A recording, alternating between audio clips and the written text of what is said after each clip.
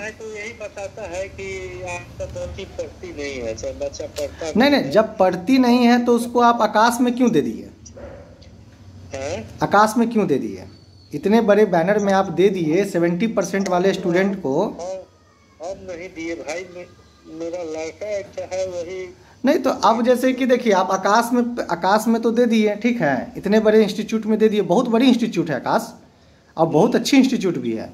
लेकिन उस आकाश इंस्टीट्यूट के लिए एक अच्छा बच्चा भी चाहिए। अब बच्चा मान लीजिए सेवेंटी परसेंट वाला है, आप बच्चे को दे दिए, वहाँ पर बच्चा जा रहा है एसी में बैठ करके दो घंटा आ रहा है, और इसके बावजूद भी आपके बच्चे का एजुकेशन नहीं हो रहा है तो आप कह रहे हैं कि प्राइवेट टीचर प्राइवेट टीचर में आप आकाश में चार टीचर मिलके पढ़ाते होंगे। फिजिक्स अलग केमिस्ट्री अलग मैथ अलग। प्राइवेट तो वही में बता रहा है कोचिंग वाला कि इसको थोड़ा सा घर तो उसको प्राइवेट कोचिंग वाला तो अब उसको नहीं नहीं। एबीसीडी का ज्ञान ही नहीं है तो हम इसके बाद तो हैं। तो सर आप आकाश वाले को ही बोलिए कि भैया आप दो लाख रुपया लेवे किए हमसे एक लाख रुपया और ले लीजिए आ इसको थोड़ा घर पे आके पर्सनल गाइड कर दीजिए या तो कोचिंग में ही भेज के गाइड कर दीजिए। अभी आप घर पे एक टीचर को बुलाइएगा उसको तीन हज़ार चार हज़ार रुपया दीजिएगा और उसमें खोजिएगा कि वो महाविद्वान पंडित आ जाए मेरे यहाँ। हम्म। हैं? पंडित चल जाएगा आप दस हज़ार रुपये महीना दीजिएगा तब जाएगा। उस लेवल का आप जिस लेवल का आप खोज रहे हैं क्वालिटी उस लेवल का आपको पे करना होगा। जहाँ पर आप पे कर दिए वहाँ से आपका मिल नहीं रहा है। आप घर पे बुलाइएगा तीन हज़ार चार हज़ार दे करके किसी को भी कोई क्या कर देगा? आप परेशान नहीं नहीं, देखिए देखिए देखिए। हज़ार तीन हज़ार चार हज़ार जिसको देते हैं वही तो फिर छह हज़ार लेता है। वो दूसरा टीचर थोड़े रहता है। अरे चाचा जी देखिए, आपके सोचने के अनुसार से दुनिया में लोग नहीं चलेंगे, ठीक है? दुनिया में चलने के लिए हर व्यक्ति के पास अपना अपना दिमाग है, उसके अनुसार चलेंगे। हम आपके देखिए, और हम लोग पंद्रह साल से काम कर रहे हैं। आज से काम नहीं कर रहे हैं, और बहुत सारे पेरेंट्स को देखें, कुछ पेरेंट्स के बच्चे ट्रैक से नीचे चल रहे हैं, उनके पेरेंट्स के डिसीज़न के कारण। आप डिसीज़न सही नहीं ले पाते हैं, आप जहाँ पे जो भेजना चाहिए, वहाँ पे भेज नहीं पा रहे हैं। अब बताइए, आकाश में आप देने के बावजूद आप क्या कहते हैं, मीन्स कि एक प्राइवेट टीचर खोज रहे हैं और एक टीचर ऐसा खोज रहे हैं विद्वान जो मैथ भी पढ़ा दे फिजिक्स भी पढ़ा दे केमिस्ट्री भी पढ़ा दे, और उसके लिए आप ज़्यादा से ज़्यादा, बहुत ज़्यादा बजट रखे होंगे तो तीन से चार हज़ार, पाँच हज़ार रुपया रखे होंगे। पाँच हज़ार रुपया में आपके दरवाजे पर कौन विद्वान पंडित चला जाएगा, सो बताइए। विद्वान पंडित तो आकाश में है, सर।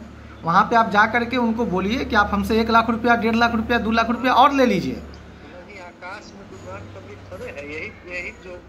तो सर आप दे क्यों दिए? आप यहाँ के लोकल टीचर जो है यहाँ के जो यहाँ के जो लोकल आकाश में आकाश में सब स्टूडेंट सब पढ़ाता है विद्वान पंडित नहीं वहाँ पढ़ाता है। नहीं नहीं आप जैसे कि जब बच्चा आपका टेंथ पास कर गया टेंथ में देखिए बच्चा मेरा अच्छा स्कोर नहीं किया तो आप जैसे कि अपने अगल बगल मोहल्ले में या तो कंकरबाग एरिया में आप हैं तो कंकरबाग एरिया में बहुत सारे इंस्टीट्यूट ऐसे ऐसे हैं जो टीचर लोग खोले हुए हैं। डायरेक्ट टीचर के पॉकेट में दस हज़ार बीस हज़ार पच्चीस हज़ार रुपया देते वो टीचर बच्चे को पर्सनली बैठ बैठ करके पढ़ाता।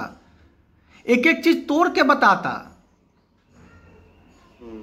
अगर देखिए सम मेरा कहना साफ़ है आपको बुरा लग रहा होगा लेकिन सच्चाई भी यही है। है, एक तो बगल में जाती है उसी से हम कहते हैं कि उसी को रखे तो वही तो तो टीचर रखे कहाँ से टीचर रखना वही तो बोला कोचिंग बगल में भी एगो कोचिंग खोले हुए हैं तो उससे देखिए अब एक बात बताएँ आपको, आप बच्चे को परेशान कर रहे हैं। बच्चे को आप दस जगह भेजिएगा, चौबीस घंटा में पाँच छः सात घंटा आकाश में लग जाता होगा, दो घंटा उधर, दो घंटा कोई टीचर आएगा। बच्चा जब तक आपका सेल्फ स्टडी नहीं करेगा तब तक बच्चा आगे नहीं बढ़ सकता है।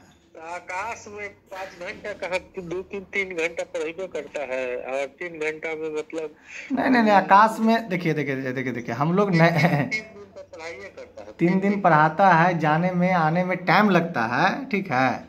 आकाश कंकरबाग में है घर के बगल में नहीं है ठीक है। हम्म, हम्म, और एक अच्छी इंस्टीट्यूट है उसको एक अच्छा बच्चा मिलने पर अच्छा रिज़ल्ट भी उसका आता है। हम्म, ठीक है। अब उसमें मान लीजिए कि fifty percent sixty percent seventy percent वाला चल जाए तो कहाँ से स्कोर कर पाएगा वो सब। तो इसलिए आप अपने बच्चे के लिए बेहतर टीचर चूज़ करें बेहतर डिसीज़न ले और जबकि डिसीज़न लेने में आप नहीं होता है तो काउंसलर का स- को संपर्क करें। हम सब मिला करके हमारे बच्चे में कमी है। ये देखिए बच्चा में कमी नहीं है। देखिए अब एक बात आपको बता देते हैं। हम हमको तो कमी दिख रहा है पेरेंट्स में। टीचर टीचर आता है तो गो टीचर यही नहीं नहीं हमको हमको कमी नज़र आ रहा है। नहीं नहीं। नहीं नहीं नहीं चाचा जी सुनिए ना। हमको कमी नज़र आ रहा है पेरेंट्स में। बच्चे में कमी नज़र नहीं आ रहा है। बच्चा को तो जैसा बनाना चाहेंगे वैसा बन जाए। जब बच्चा आपका आज थोड़ी टेंथ में आ गया डायरेक्ट एलेवेंथ में। बच्चा पहले वन में पढ़ा होगा टू में होगा फिर थ्री तब टेंथ आया है। बच्चा डायरेक्ट तो क्या कहते हैं मीन्स कि एक अचानक क्या कहते हैं एलेवेंथ में नहीं आ गया। और सब दिन आप बच्चे के साथ एक्सपेरिमेंट किए हैं। इसलिए बच्चा आज कमज़ोर हो गया। अरे तो एक आप आप अपने स्तर से टीचर पे करके देखिए तो हम टीचर नहीं दे पाएँगे आपको। हम टीचर नहीं दे पाएँगे ठीक है ना? क्योंकि ऐसा कोई टीचरे नहीं है दुनिया में ठीक है? मार्केट में जो आपके बच्चे को इलेवेंथ में मैथ भी पढ़ा दे फिजिक्स भी पढ़ा दे केमिस्ट्री भी पढ़ा दे। केवल एगो मैथे का देखिए ना एगो मैथ का मात्र एगो मैथ का और कोई कोई नहीं। हाँ मैथ पढ़ाने के लिए कोई भी जाके पढ़ा देगा। आपके बच्चे देखिए आपको एक अरे सुनिए ना चाहिए सुनिए ना सुनिए देखिए देखिए देखिए देखिए देखिए। एक बात आपको बता रहे हैं आप बहुत अनुभवी आदमी हैं लेकिन आप थोड़ा सा मेरा बात सुन लीजिए। अगर आपका बच्चा पढ़ने में एवरेज है तो उसको बड़े क्वालिफाइड टीचर की ज़रूरत नहीं है। उसको एक जस्ट हाँ। नहीं है तो है है तो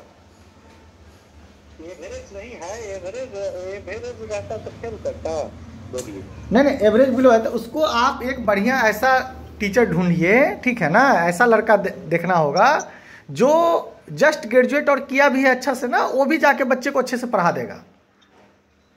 वही में कहते हैं कि वो आई बन की आई यही पढ़ा है चाहे मैट्रिक ही पढ़ा है। लेकिन उसको समझाने का अकल है कि किस तरह से हम समझा देंगे आपके बच्चे को अभी मैथ में हमारे हिसाब से जब ऐसा बात बोल रहे हैं आप तो उसको एट नाइन टेन का मैथ पढ़ना ज़रूरी है। ना कि एलेवेंथ का एलेवेंथ का समझ में ही नहीं आएगा।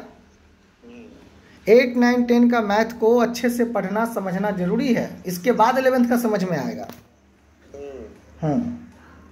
तो इस, इसके लिए आपको बेस्ट क्या कहते हैं मीन्स की रहेगा जो कोई एक स्टूडेंट टीचर जो होते हैं जो पढ़ रहे हैं पढ़ा रहे हैं पार्ट टाइम में हम्म, उनको एक पकड़ा जाए वो आपसे थोड़ा सा कम चार्ज में भी और उन्हीं को आप पाँच सौ हज़ार ज़्यादा दीजिएगा आपके बच्चे को अच्छे से मेहनत करके अच्छे से निकाल देंगे हम्म, और जब भी आप टीचर खोजिएगा ना तो टीचर टीचर आपसे ज़्यादा पैसा भी लेगा और उसके पास उतना समय भी नहीं है कि वो बच्चे को रगड़ते रहेगा, क्योंकि उसके पास थ्योरी देगा, फार्मूला देगा, बच्चे को याद करना है, बच्चे को समझना है, बच्चे को सॉल्व करना है।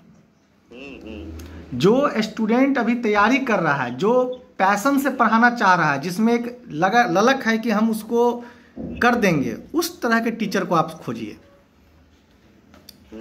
हाँ वो टीचर आपके बच्चे को अच्छे से समझाएगा तुर तुर बताए और वो टीचर अगर आपके बच्चे को एक घंटा पढ़ाएगा तो आपके बच्चे को पाँच घंटा बैठकर पढ़ना होगा। तब जाकर के रिज़ल्ट आएगा। वो एक घंटा डेढ़ घंटा जाके पढ़ा दिया इसके बाद वो चल आया। है कि जो पढ़ाता है वही बस वो उसी लिए अपने से पढ़ता है तब फिर क्या दिक्कत है नहीं नहीं बच्चा जब सेल्फ स्टडी नहीं करेगा तो बच्चा आगे की ओर कैसे बढ़ेगा? तो वही तो बात है हमको भी यही लगता है। हाँ। ये बात एकदम कटु सत्य है। हम्म, इसके लिए आप देखिए न टीचर को दोष दीजिए न बच्चे को दोष दीजिए दोष जो है आप अपने ऊपर लीजिए कि हमारा डिसीज़न गलत निकला। वही ना हम समझ रहे हैं। हाँ कि हमारा डिसीज़न गलत निकला कि हम अपने बच्चे को आकाश में दे दिए ये हमारा डिसीज़न गलत निकला। हम हम नहीं बोल रहे थे अब क्या हम कहें? हम बोल रहे हैं कि गोईठा में घी। सुखा रहा है, हमको बोले, यही उदाहरण दिए कि गोईठा में घी सुखाने से कोई फ़ायदा है नहीं। इसको जो भी है वही व्यवस्था ऐसा लगा दो कि जो मैंने अपना करे।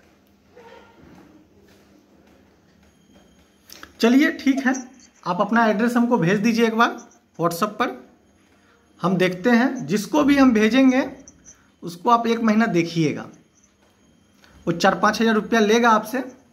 आपके बच्चे को जा करके बनाएगा और थोड़ा सा आपको भी अपने बच्चे पर बोलना पड़ेगा ध्यान देना पड़ेगा कि बेटा टीचर के जाने के बाद बैठ करके जो नहीं, हम हम नहीं इसको पढ़ाएँगे। हम हम तो छोड़ दिए हैं इसका हम्म, भाई अपना देख रहा है। तो तो ठीक है देखने दीजिए। मान लीजिए आज आप छोड़ दिए हैं कल भाई छोड़ देगा पर तो खोज दीजिए कर दीजिए तो हम नहीं कर देते। हम इसमें हम नहीं भेजेंगे। हमको कोई ठीक है रखिए। ठीक है ठीक है ठीक है।